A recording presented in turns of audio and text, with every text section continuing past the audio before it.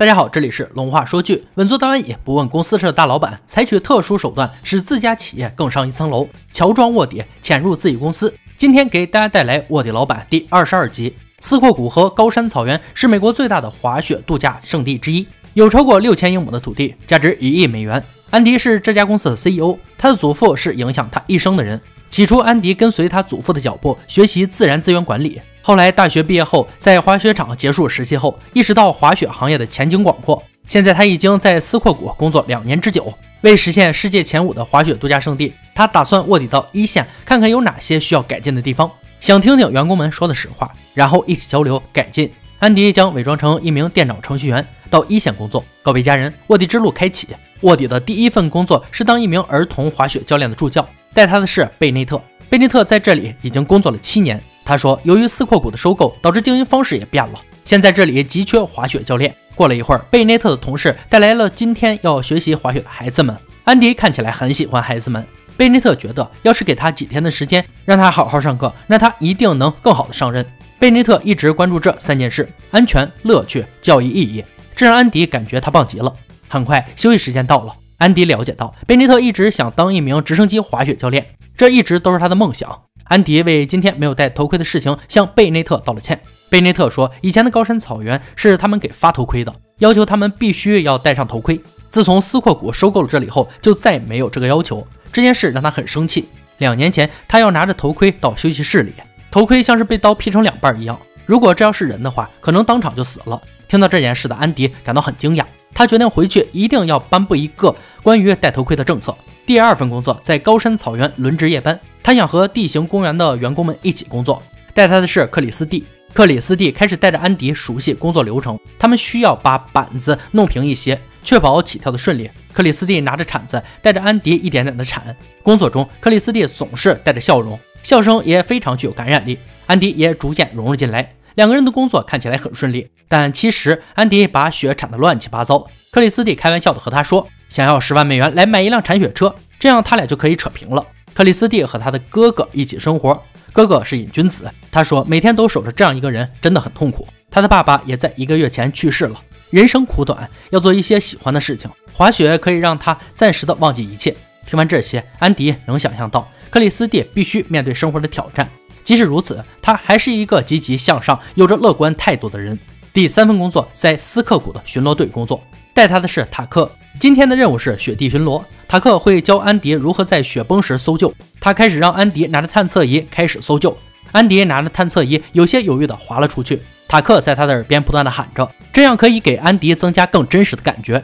他加快了搜寻速度。很快，他收到了求救信号，跪在地上，迅速地把雪挖开，找到了发出信号的探测仪。安迪通过了这次测试。接下来，他们两个开始在山上徒步巡逻。他们把山上的警告标识又加固了一遍。很快，他们到了徒步的巡逻小屋。聊天中，塔克说自己马上就要结婚了，准备在斯阔谷的坡上举行，打算去欧洲滑雪度蜜月。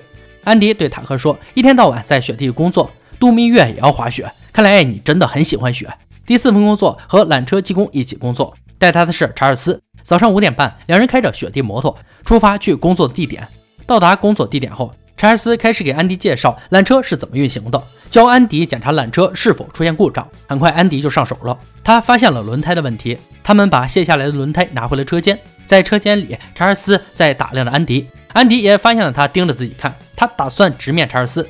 安迪问他为什么要盯着自己看，查尔斯说自己认出了安迪就是这家公司的老板。安迪的卧底暴露了，他还是很好奇关于公司的问题，所以安迪继续问了查尔斯，看他会怎么说。查尔斯所在的部门是个非常辛苦的部门，其他人需要修理什么或者安装什么，都需要来求助他们。如果遇到暴风雪的天气，查尔斯他们还需要手动的帮助缆车上山，不会有人闲着的。每天很早的就来工作，没有时间吃饭或者干其他的事情，直到所有缆车开始工作，他们才能休息。今年夏天，有两名非常优秀的技工因为公司的管理问题辞职离开了。安迪很感谢查尔斯能坦白的说出这些问题。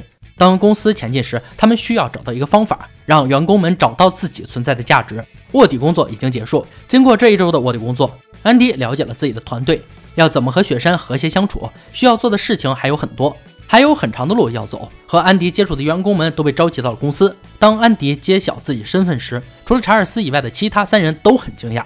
第一个见的是查尔斯，安迪非常感谢查尔斯以及他的团队为公司所做的一切。安迪知道查尔斯曾经也去过其他公司寻求机会，所以为了不再失去优秀的员工，安迪打算将查尔斯升为主管。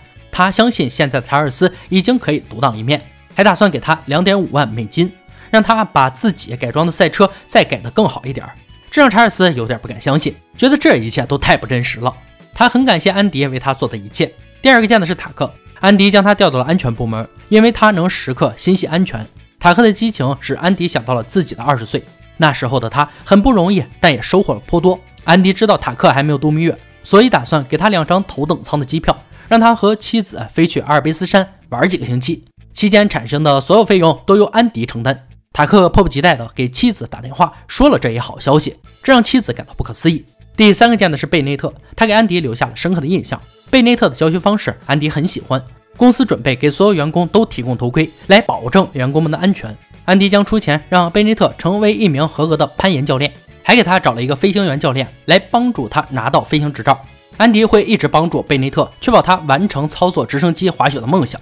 安迪期待着他的梦想有一天会成真。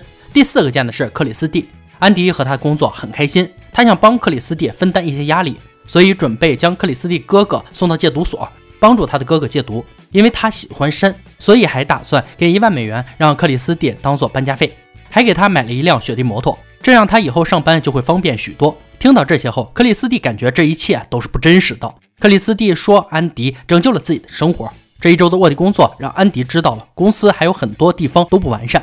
他会努力的将这些不完善的地方一点点变好啊！今天的卧底老板第二十二集到这里就结束了。如果想继续观看，我在频道等你哦。我们下期再见。